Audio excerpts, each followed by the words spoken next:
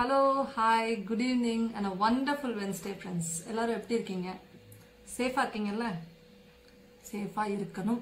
இல்லைன்னா ரொம்ப டஃப் ஆகிடும் ஸோ இன்னைக்கு இந்த வீடியோ நான் பண்ணுறதுக்கான மெயின் இன்டென்ஷன் சேஃப்டி மெஷர்ஸ் அதாவது கோவிட் நம்ம கிட்ட வரவிடாமல் நம்ம பார்த்துக்கிறதுக்கு தேவையான சேஃப்டி மெஷர்ஸ் நிறைய பேர் சொல்லிட்டு இருக்காங்க. எஸ்பெஷலி ரிலேட்டட் டு மாஸ்க்ஸ் எப்படி நீங்கள் போடலாம் டபுள் மாஸ்க்ஸ் போட்டு நீங்கள் எப்படி அதை நீங்கள் சேஃப்டியாக இருந்துக்கலாம் அண்ட் um, இந்த இந்த சோஷியல் டிஸ்டன்சிங் நீங்கள் எப்படி மெயின்டைன் பண்ணலாம் இந்த மாதிரி நிறைய விஷயங்கள் சொல்கிறாங்க இன்ஃபேக்ட் ஃபுட் ரிலேட்டட் என்ன மாதிரியான ஃபுட் ஐட்டம்ஸ் நீங்கள் எடுத்துக்கலாம் இந்த மாதிரி விஷயங்கள் எல்லாம் சொல்கிறாங்க பட் முக்கியமான ஒரு ஃபண்டமெண்டல் விஷயம் நம்ம எல்லாருமே மறந்துட்டோம்னு நான் ஃபீல் பண்ணுறேன் என்னன்னு கேட்குறீங்க இல்லையா? சிக்ஸ்த் ஸ்டாண்டர்டில் நம்ம எல்லாரும் படித்த முக்கியமான லெசன் ரெஸ்பிரேட்டரி சிஸ்டம் இதையே இப்போ நான் சொல்கிறேன் அப்படின்னு நீங்கள் நினைக்கலாம். ரொம்ப இம்பார்ட்டன்ட்ங்க அது இருக்க சில ஹைலைட் சொல்கிறேன் நம்ம எல்லாரும் வந்து இன்ஃபேக்ட் ஃபோர்த் ஃபிஃப்த் ஸ்டாண்டர்டில் கூட டிசீசஸ் பற்றி படிச்சிருக்கோம். அதில் முக்கியமாக பேண்டமிக் அதாவது கம்யூனிகபிள் டிசீசஸ் பேண்டமிக் டிசீஸால இருக்குது இப்போ கோவிட் இல்லையா? It's not uh just kind of you know malaria or typhoid or uh viral disease or uh viral fever I mean this is something which is easily communicable diseases ஒருத்தர்கிட்ட இருந்து இன்னொருத்தருக்கு ஈஸியாக பாயுது சொல்லப்போனால் ஈஸியாக வந்து அஃபெக்ட் ஆகுது இல்லையா ஒருத்தர்லேருந்து லைக் அதனால தான் மாஸ்க் போட்டுக்கிறது பிரெத் ரிலேட்டடாக எப்படி கம்யூனிகேட் ஆகுது. அதே மாதிரி டச் ரிலேட்டடாக எப்படி கம்யூனிகேட் ஆகுது. இதெல்லாம் அவாய்ட் பண்ணுறதுக்கான மெஷர்ஸ் சொல்கிறாங்க பட் ரொம்ப முக்கியமான ஃபண்டமெண்டல்ஸ் எவ்வளோ பியூட்டிஃபுல்லாக நம்ம சிக்ஸ் ஸ்டாண்டர்ட்லேயே படிச்சிருக்கோம்னு பாருங்கள் நான் சில ஹைலைட்ஸ் தான் போர் அடிக்க மாட்டேன். கவலைப்படாதீங்க. பட் இது ரொம்ப இம்பார்ட்டன்ங்க அது இப்போ இருக்கிற எக்ஸ்ட்ரீம்லி ஹாரபிள் கண்டிஷன் இன்ஃபேக்ட் நான் இப்போ கோயம்புத்தூரில் என் வீட்டில் இருக்கேன். Cases I'm talking about death cases and அதே மாதிரி கோவிட் அஃபெக்ட் ஆகிற பீப்புளோட கேசஸ் ப்ரிடாமினண்ட்டாக ஜாஸ்தியாக போயிட்டுருக்கு. ஸோ இந்த மாதிரி ஹை டைமில் இந்த டவர் மூமெண்ட்டில் டெஃபினட்டாக இதை பற்றி நம்ம கண்டிப்பாக கொஞ்சம் ஒரு ஒரு deep thought logical and at the same time பயாலஜிக்கலாக கொஞ்சம் யோசிக்கணும். ஸோ இங்கே பாருங்கள் ஃபர்ஸ்ட் அண்ட் ஃபோர்மோஸ்ட் லைனே வந்து பார்த்தீங்கன்னா ரெஸ்பிரேஷன் இன் ஹியூமன் பீங்ஸ் பற்றி என்ன சொல்கிறாங்கன்னா oxygen is one of the most important requirements for human beings to live of course everybody knows that but இங்கே என்னன்னு பார்த்தீங்கன்னா oxygen is use to break down the food that we have eaten so has to release the energy oxygen வந்து பார்த்தீங்கன்னா main ஃபுட்டை வந்து break down பண்ணி நம்ம பாடிக்குள்ள இன்டர்னலா அந்த பிரேக் டவுன் ஆன ஃபுட் தான் நம்மளுக்கு எனர்ஜியா கொடுக்குது. அந்த எனர்ஜி தான் நம்மளுக்கு வந்து பாத்தீங்கன்னா இம்யூனிட்டி கொடுக்குது. அந்த இம்யூனிட்டி தான் இல்லாததுனால நிறைய பேர் கோவிடால நம்மளை விட்டு போயிடுறாங்க. ஸோ அந்த இம்யூனிட்டி நம்ம டெவலப் பண்ணணும்னா once again respiration is a process in which food is broken in the presence of oxygen to release energy yes அது நம்ம பார்த்துட்டோம். ஆனா இந்த ரெஸ்பிரேஷன் நம்ம எல்லாரும் என்னது நீங்க ப்ரீதிங் தானே சொல்ல வரீங்க கிடையாது என்ன ப்ரீதிங் எல்லாரும் பண்றோம். ஆனா அதுலயும் பாத்தீங்கன்னா ரெண்டு விதமான ப்ரீதிங் இருக்குங்க. That's what they're saying here அது என்னன்னு பாத்தீங்கன்னா எக்ஸ்டர்னலி அதாவது பிசிக்கலா பண்ணக்கூடிய ப்ரீதிங் ப்ராசஸும் இருக்கு. அதுதான் ப்ரீதிங் இந்த சென்ஸ் அதை நம்ம இம்ப்ரூவைஸ் பண்றதுக்கான டெக்னிக் அதுவும் நான் சொல்றேன். உங்க எல்லாருக்கும் தெரிஞ்சதுதான் பட் நான் இப்போ கொஞ்சம் டாப் லைன் ரீகால் மாதிரி உங்களுக்கு ஞாபகப்படுத்துறேங்க. இன்னொன்னு கெமிக்கல் லெவலில் போய் அந்த ப்ராசஸை நம்ம டச் பண்ணணும். இந்த சென்ஸ் செல்லுலார் லெவலில் நம்ம ப்ரீத் பண்ணணும். செல்லுலார் ரெஸ்பிரேஷன் ஏன்னா அதாவது எக்ஸ்டர்னல் ரெஸ்பிரேஷன் ஆர் ப்ரீதிங் இன்னொன்று வந்து பார்த்தீங்கன்னா இன்டர்னல் ஆர் செல்லுலார் ரெஸ்பிரேஷன் சொல்கிறாங்க எக்ஸ்டர்னல் ரெஸ்பிரேஷன் என்னன்னு பார்த்தீங்கன்னா the process in which oxygen is taken in and carbon dioxide is given out which is known as breathing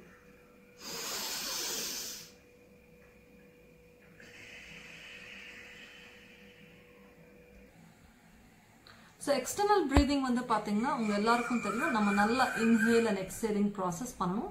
exhaling and இன்ஹேலிங்கும் பண்ணலாம். இந்த sense ரெண்டு விதமான யோகாஸ் இருக்கு. நான் ரொம்ப ப்ரிஃபரபிளி யோகா தான் நிறையா பண்ணுவேன்.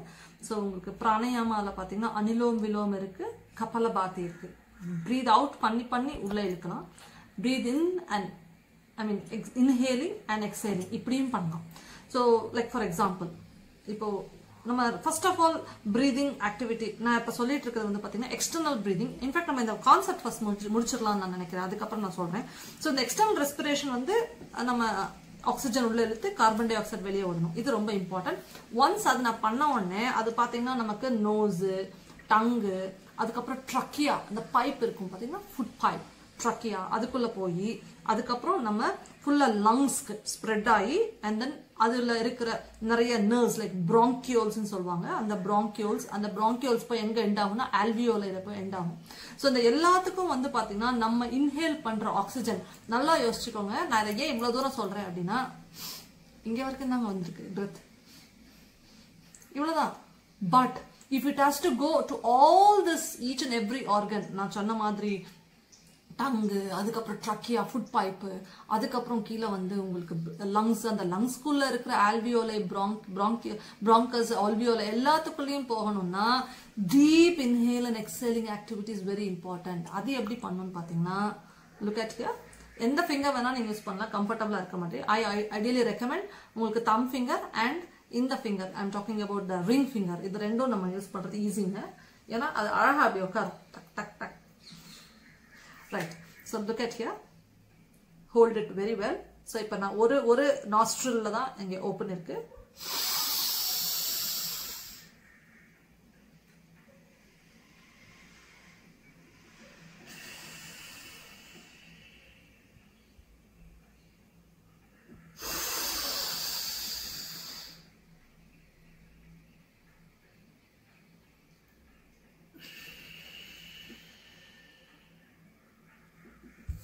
நேச்சுரலி என் கண்ணு மூடிச்சு. மூடினா நல்லது. ஏன்னா அதை நல்லா கான்சன்ட்ரேட் பண்ணலாம். இந்த சென்ஸ் நீங்கள் இன்ஹேல் பண்ணுற ஆக்சிஜன் நல்லா யோசிங்க.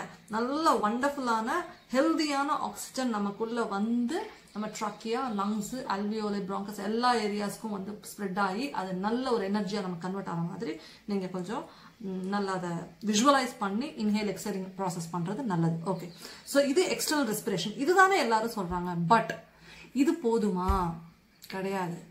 பேண்டமிக் டிசீசஸ் லைக் கோவிடை வந்து நம்ம ரெஸ்ட்ரிக்ட் பண்ணணும் இல்லை கெட் ரிட் ஆஃப் பண்ணணும். இல்லை நம்ம கிட்டையே வரவிடாமல் பார்த்துக்கணும்னா ரொம்ப முக்கியமாக அடுத்த லெவல் ரெஸ்பிரேஷன் என்னன்னு பார்த்தீங்கன்னா இன்டர்னல் ஒரு செல்லுலார் ரெஸ்பிரேஷன் அதுதான் இங்கே சொல்கிறாங்க நான் மெயின் இந்த மெட்டீரியல் எடுத்ததுக்கு ரீசனே அதுதாங்க. இந்த இன்டர்னல் செல்லுலார் ரெஸ்பிரேஷன் பற்றி ஒரு சின்ன லைன் மட்டும் சொல்கிறேன் என்னன்னு பாருங்க.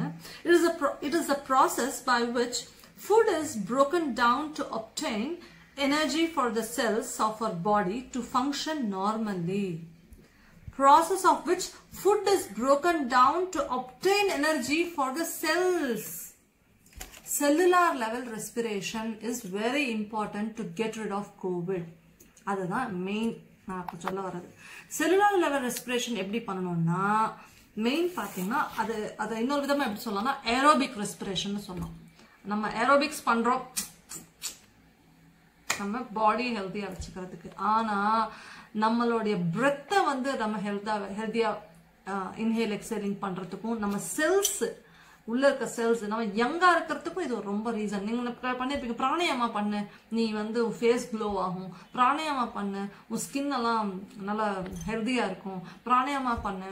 உனக்கு ஃபேஸ்ல ஒரு ஷீன் அதாவது நல்லா ஷைனிங்கான க்ளோயான ஃபேஸ் வரும்னு சொல்றத நிறைய பேர் லிட்ரலி கேள்விப்பட்டிருப்பீங்க. அதுக்கு மெயின் ரீசன் என்னன்னா இந்த உள்ள இழுக்கிற ஆக்சிஜன் செல்ஸ் வரைக்கும் போற அளவுக்கு நம்ம இன்ஹேல் பண்ற அந்த ஆக்சிஜன் வந்து என்ன மாதிரி கன்வெர்ட் ஆகுதுன்னா எனர்ஜியா கன்வெர்ட் ஆகுதுங்க. அதுவும் என்ன மாதிரி எனர்ஜினா ஃபுட்டை பிரேக் டவுன் பண்றது. அப்படின்னா நீங்க ஃபுட் உங்களோட டைஜஸ்டிவ் சிஸ்டம் வந்து நல்லா எஃபெக்டிவா ஒர்க் பண்ணி அதாவது நம்மளுடைய என்ன சொல்கிறது என்ன சொல்றது like pipes. Pipes talking talking especially especially small intestines and large intestines இது ரெண்டுமே எஃபெக்டிவா ஒர்க் பண்ணணும்னா ஃபுட்டு நல்லா ப்ராசஸ் ஆகணும் இல்லையா? லிவர்ல இருந்து பைல் நல்லா செக்ரேட் ஆகி நமக்கு ஃபுட் நல்லா ப்ராசஸ் ஆகணும். ஃபுட் நல்லா ப்ராசஸ் ஆகணும்னா மெயின் ஆக்சிஜன் அதுக்கு வேணும். அப்போ நீங்க ஏரோபிக் ரெஸ்பிரேஷன் பண்ணணும். ஸோ ஏரோபிக் ரெஸ்பிரேஷன் இஃபெக்டிவா பண்ணணும்.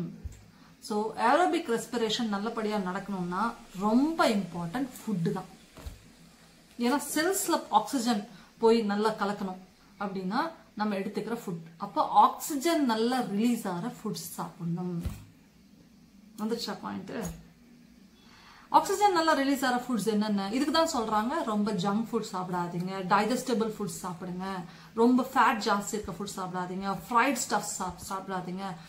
ரொம்ப ப்ரெஷர் கொடுக்கக்கூடாதுங்க லிவருக்கு அதனால முடியாது. It's it's a very soft organ so நம்ம சாப்பிட்ற நான் வெஜிடேரியன் எஸ்பெஷலி நீங்கள் மீட்லாம் சாப்பிட்றீங்களே அதில் நீங்கள் ஸ்ப்ளீன் சாப்பிட்றீங்க லிவர் சாப்பிட்றீங்க நீங்கள் நம்ம டச் பண்ணி ஃபீல் பண்ணியிருக்கோம் இல்லையா? அது எப்படி அந்த சப்ஸ்டன்சஸ் எப்படி சாஃப்ட் நேச்சராக இருக்குது அதே மாதிரி தாங்க நம்ம ஆர்கன்ஸ் என்ன சைஸ் பெருசாக இருக்கும் அவ்வளோதானே ஒழிய பட் அதுவும் அப்படிதான் சாஃப்ட் நேச்சராக இருக்கும். ஸோ அந்த மாதிரி ஒரு சாஃப்ட் நேச்சர் ஸ்பாஞ்சியாக இருக்கிற ஒரு ஸ்டஃப்பில் நீங்கள் இவ்வளோ அன்ஹெல்த்தியாக நீங்கள் நிறைய பேர் அதை ப்ரூவ் பண்ணியே காமிச்சிருக்காங்க. சில like pasta or maybe noodles எல்லாம் வந்து பார்த்தீங்கன்னா அதை நீங்கள் ஃப்ரை பண்ணியெல்லாம் சாப்பிடும் போதோ இல்லை எஸ்பெஷலி நீங்கள் any you know hard items like I'm talking about cereals or breads எல்லாம் வந்து பார்த்தீங்கன்னா ரொம்ப ஹார்ட் ரொம்ப ஹார்ட் ஐட்டம்ஸ் அதனால அதுக்கு டைஜஸ்ட் பண்ணி ஈஸியாக பிரேக் டவுன் ஆகிறது கஷ்டமாயிடும். ஸோ அந்த அளவுக்கு இனஃப் ஆக்சிஜன் நம்ம இன்ஹேல் எக்ஸல் பண்ணுறோமா பண்ணுறதே இல்லையே. ஸோ லைக் பிராணயாமா எல்லாரும் பண்ணுறீங்களா பண்ணுறது இல்லை ஸோ அதனால தான் வந்து பார்த்தீங்கன்னா ஃபுட் ஃபாஸ்ட்டாக பிரேக் டவுன் ஆகாத போது இங்கே வந்து லாக் ஆகிடுறதுங்க உங்களுக்கு அப்படியே அடைச்சிக்கும். So that is why what am I trying to tell you is like anybody else says, eat very smooth and uh, easily digestible foods, especially vegetables. Fruits வந்து கூட பார்த்தீங்கன்னா உங்களுக்கு வெயிட் தான் போடாதே ஒழிய அதில் வாட்டர் கண்டென்ட் தான் நிறையா இருக்குது ஆனால் வெஜிடபிள்ஸ் மாதிரி வராதுங்க. உங்களுக்கு ஈஸிலி நீங்கள் அதை நீங்கள் அப்படியே சூவே பண்ணாமல் முழுங்கினா கூட அது போய் டைஜஸ்ட் ஆகும் ஸோ அண்ட் அதையும் ஹெல்த்தியாக நீங்கள் குக் பண்ணும். அது நம்ம இன்னொரு நாளைக்கு நான் சொல்கிறேன் என்ன மாதிரியெல்லாம் நீங்கள் ஸ்டெப்ஸ் எடுத்து அதை ஈஸியாக டைஜஸ்டபிள் ஃபுட்டாக பண்ணுவாங்க. இதெல்லாம் பண்ணால் ஒன்று கோவிட் தடுக்கிறது மட்டும் இல்லாமல் ஆன்டி ஏஜிங்க்கும் ரொம்ப ஹெல்ப்ஃபுல்லாக இருக்கும். ஸோ ஐ பிலீவ் உங்களுக்கு இது ரொம்ப ஹெல்ப்ஃபுல்லாக இருக்கும்னு நினைக்கிறேன். இன்ஃபேக்ட் அது இன்ஃபேக்ட் காமன் ரெஸ்பிரேட்டரி டிசீசஸ் உள்ள வந்து பார்த்தீங்கன்னா கிளியராக கொடுத்துருக்காங்க. லாஸ்ட் பேஜில் அதே லெசனில் ஏர் பொல்யூஷன்னால் வர்றது கோல்டு ஃப்ளூ பாக்டீரியல் இன்ஃபெக்ஷன்ஸ் அதே மாதிரி மைக்கோ பாக்டீரியம் டியூபர் க்ளோசஸ் எல்லாமே நீங்கள் பார்த்துருப்பீங்க அதில் வர சிம்டம்ஸ் தான். காஃப் வர்றது இங்கே சளி கோத்துக்குச்சு சொல்கிறாங்க இல்லையா? ஸோ இது எல்லாத்துக்கும் ரீசன் வந்து பார்த்தீங்கன்னா ஐ மீன் கோவிடோட சிம்டம்ஸில் so and especially digestive problems வருது. எங்கள் வீட்டிலே மூணு பேர்கிட்ட வந்து ரெண்டு பேர் சரியானாங்க. அன்ஃபார்ச்சுனேட்லி லாஸ்ட் வீக் வந்து பார்த்தீங்கன்னா எங்கள் uncle ஒருத்தாரு is no more he's hardly sixty um, so அவ்வளோ ஹெல்த்தியாக இருப்பார். We all never expected that he will leave as so main reason என்ன அப்படின்னு பார்த்தீங்கன்னா unhealthy food system healthy food system plus மறந்துடாதீங்க. ரெண்டு விதமான ரெஸ்பிரேஷன் பண்ணும். ஒன்று இன் ஃபிசிக்கல் ரெஸ்பிரேஷன் அதாவது இன்ஹேலிங் எக்ஸேலிங் இன்னொன்று cellular level respiration cellular level respiration நீங்கள் பண்ணணும்னா ஏரோபிக் ரெஸ்பிரேஷன் பண்ணும். அதுக்கு ரொம்ப இம்பார்ட்டண்ட்டாக நீங்கள் சாப்பிட்ற ஃபுட் வந்து ஈஸிலி டைஜஸ்டபிள் கேஸ்ட்ரிட்டிஸ் ஃபார்ம் ஆகாத ஃபுட்டு பிளாக் ஆகக்கூடாதுங்க இங்கே போய். கேஸ் ஃபார்ம் ஆகுதுன்னா நீங்கள் பார்த்துருப்பீங்க நெஞ்செரிச்சல் நீங்கள் குத்தும் சம்டைம்ஸு ஸோ அந்த மாதிரி ஃபுட்ஸ் நீங்கள் போய் நல்லா ப்ரௌஸ் பண்ணுங்க கூகுளில் கேஸ் ஃபார்ம் அண்ட் அது மட்டும் இல்லைங்க. இப்போ இந்த பேண்டமிக் டைமில் நமக்கு லாக்டவுனில் வந்து பார்த்தீங்கன்னா கம்ப்ளீட்டாக நம்ம லேட்டாக தான் எந்திரிக்கிறோம். மார்னிங் ஏர்லி மார்னிங்ஸ் யாரும் எந்திரிக்கிறது இல்லை. ஒர்க்குன்னு வெளியே போயிட்டோம்னா நம்ம சீக்கிரம் எந்திரிப்போம். பட் இப்போ லேட்டாக நம்ம எந்திரிக்கிறதுனாலயே வந்து பார்த்தீங்கன்னா லேட்டாக தான் பிரேக்ஃபாஸ்ட் சாப்பிட்றோம். Break the fast and that fast needs to be broken at the earliest. Seven between seven and நைன்குள்ளே உங்கள் பிரேக்ஃபாஸ்ட் கண்டிப்பாக சாப்பிட்டே ஆகணும். அப்புறம் கூட நீங்கள் போய் தூங்கிக்கணும். But ideally recommended please eat on time and eat easily digestible food. Ensure that gastritis doesn't forms in your body right? So i'm sure this would be a helpful video for all of you. Please take care guys. Thank you very much. Love you and bye bye